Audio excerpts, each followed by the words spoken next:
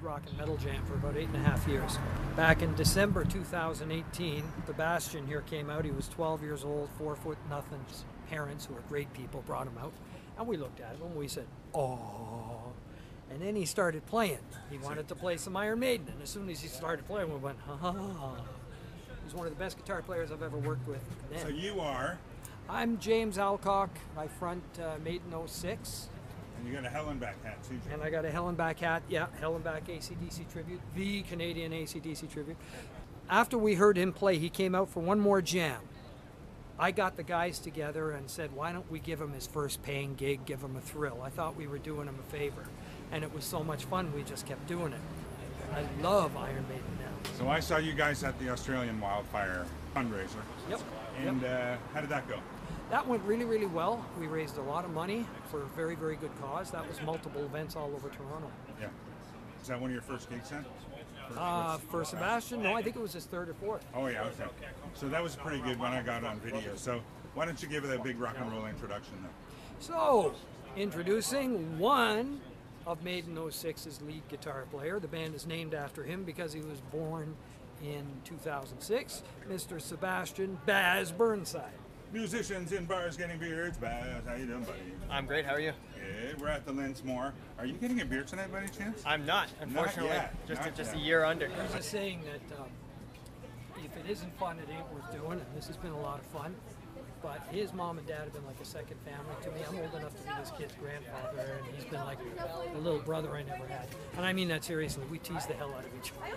Well, it's it's cool that you know some of the younger generation are playing old metal. My son calls old metal just music. Like Sabbath is not metal; it's just music.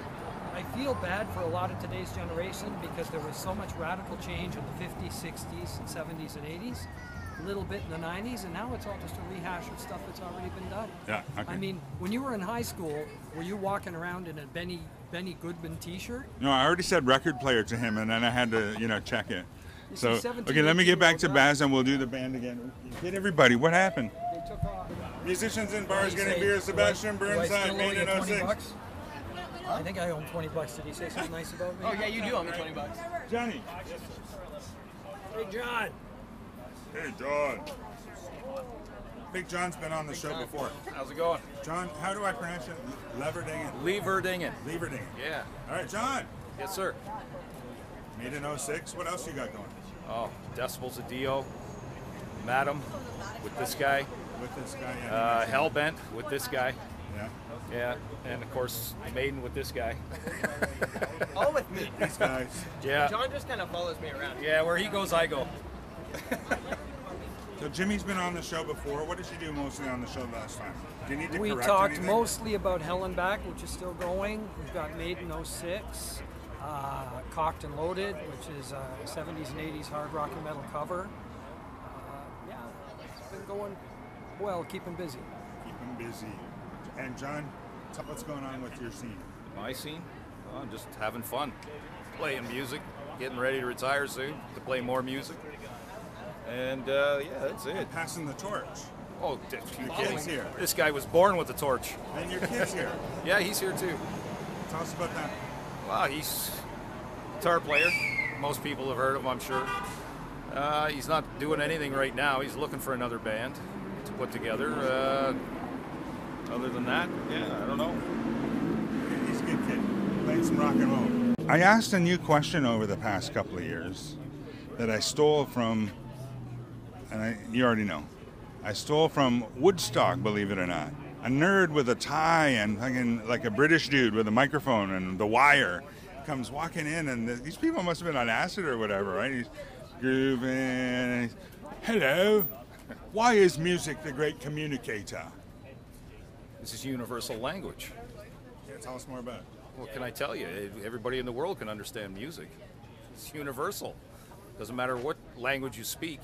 Music's music.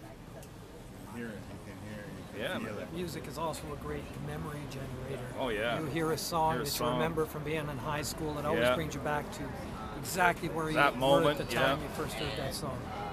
Good answer, good answer. Yeah. And uh, what's in the future for you? We're just going to keep booking shows. Um, These are some of the best musicians I've ever worked with in my life. Uh, so we're just going to keep booking shows. Now, I'll tell you, if you're booking an ACDC tribute, it's a very popular band. You got to keep ladies dancing. Iron Maiden is a guys band, but we still get a lot of ladies that love Iron Maiden coming out to our shows. It's because of the hot guitar player. Yeah, Nathan's really good looking. Yeah. He kind of hurts us. Yeah, you and your red pants. Yeah. Yeah. What's wrong with his red pants? That's how we see him in the dark. Bruce Dickinson wore red pants. Yeah, but Bruce Dickinson. He's putting Bruce down Bruce Dickinson. No, he's putting Bruce down Dickinson, you in Bruce red Dickinson. pants. He's not putting down Dickinson. Bruce Dickinson. I, I can, I can. Uh, But he's. Dickinson. I'm all cock. You got anything more? No, I'm good. Jimmy, you got one really special occasion that happened in the past little while that uh, I actually saw on TV. And, uh, Oh, yeah, that was Uh, awesome. Two years ago. Yeah. tell us about that. So I can't tell you everything because I signed a contract, but what you saw isn't exactly what happened. Uh, I had the crowd on their feet with their fists in the air. What You're talking? Canada's Got Talent? Yeah. I had the crowd on their feet with their fists in the air, and every time a judge said no, they booed loudly, and the judge like that. But it was still an amazing, What amazing you do? experience. I did "Come On, Feel the Noise." So get uh. I got Rudy Sarzo's vote of approval on that. But when you only got two minutes in an audition, not the best song to do. No. If I could have done the whole song, it would have been I different. should have sang some Beyonce or something, Jimmy. I was I had Dio, but they couldn't get the they couldn't get the permission oh, to they use need write. Oh, yeah. They need permission for whatever songs they. Are you allowed to there. say that? Yeah. Okay. But it was a lot of fun. I recommend it highly. You'll learn a lot, let me tell you that. Yeah, yeah. But yeah, it was great. So you recommend the audition process? I really, really do. It's a That's lot of fun, and uh, I've actually gotten a lot of great promotion from it. Musicians in bars getting beer. I got Jimmy Alcock, Maiden 06 and more. And I got Sebastian Burns. Thanks for being on the show. Of course.